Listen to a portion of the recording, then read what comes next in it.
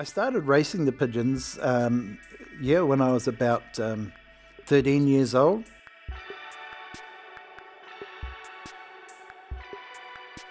It, it does give you a, a reason um, to sort of get up.